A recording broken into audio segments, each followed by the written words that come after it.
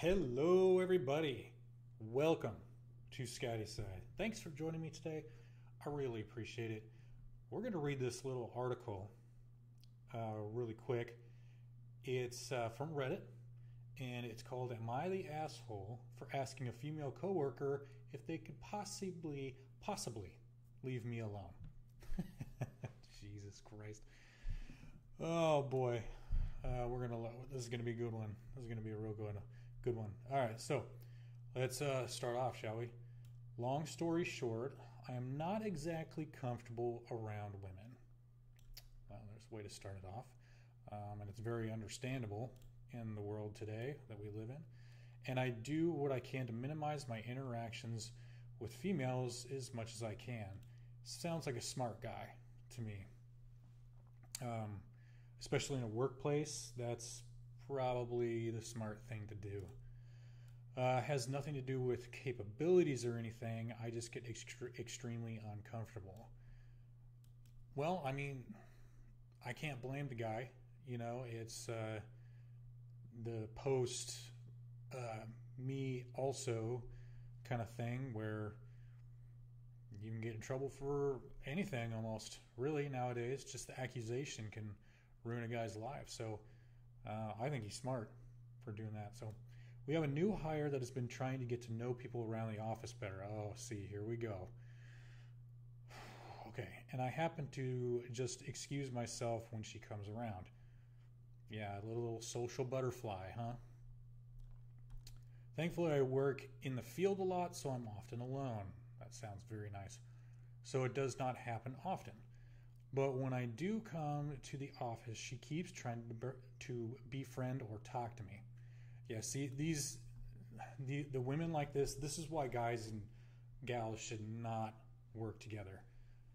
Women just want to be social butterflies and feels and like let's get to know each other, let's be friends, not do any actual fucking work. So no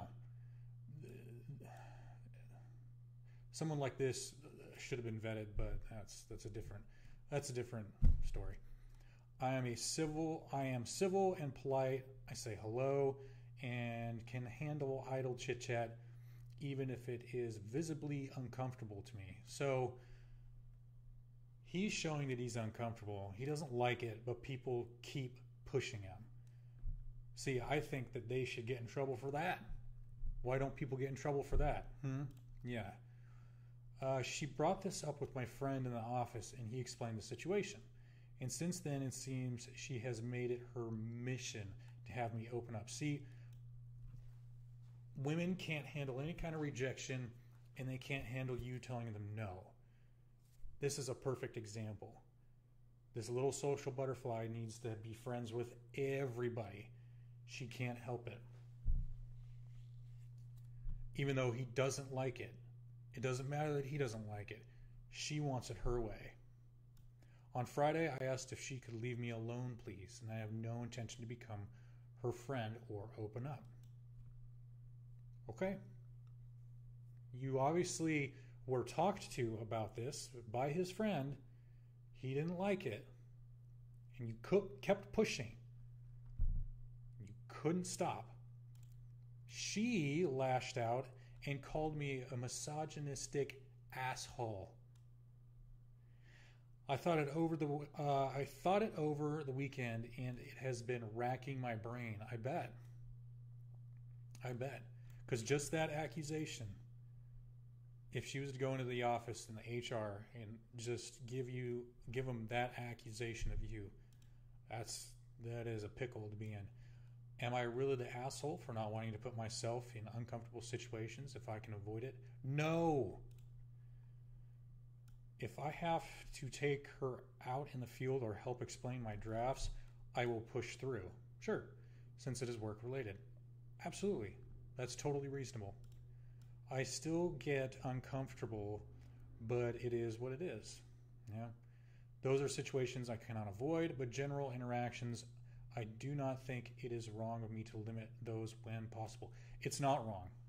It's absolutely not wrong at all. This guy is not the asshole. The woman is the asshole because she kept pushing his boundaries. He literally told and it was he was uncomfortable. People could see it. She talked to his friend, and he explained the situation, but she kept pushing. She is the asshole. She doesn't understand boundaries. And she should be fired. On the other hand, I also understand this is a me problem. Uh, I go to therapy, but that only does so much, right?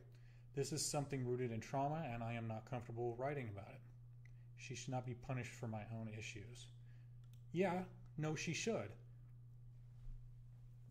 She should because she knows your boundaries and she pushed them and she kept pushing them. And then when you stood up for yourself, when you put those boundaries in place and you didn't falter and you didn't uh, waver at all, she got upset because the little bitch didn't get her way. So am I the asshole? No.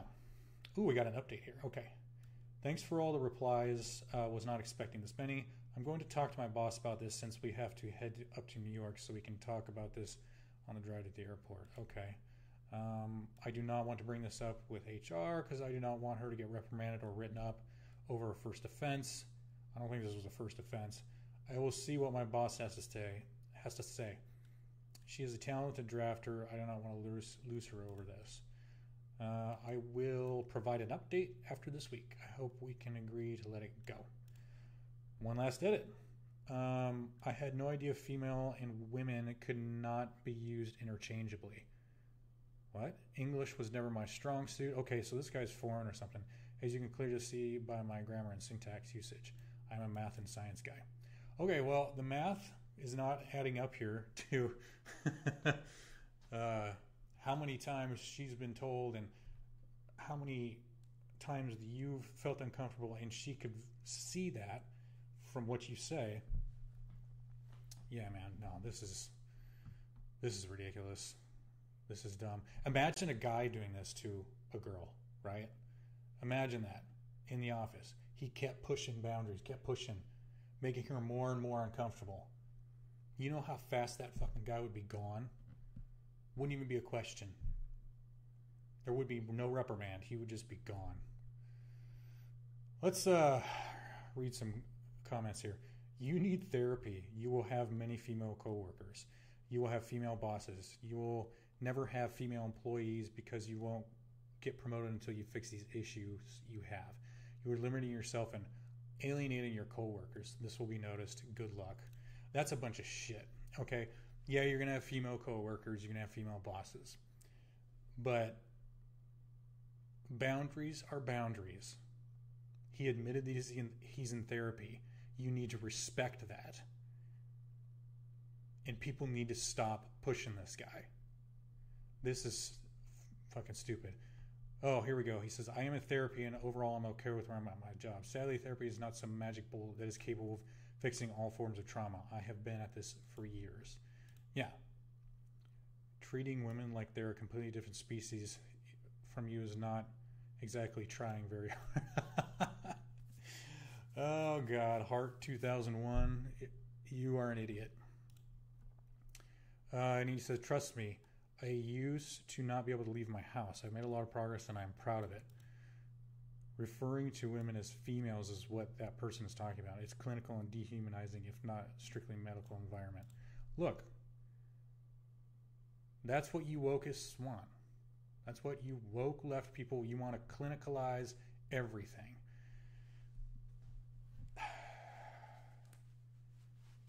These must be women writing these responses because he's just being smart. He's being smart, and women can't deal with that.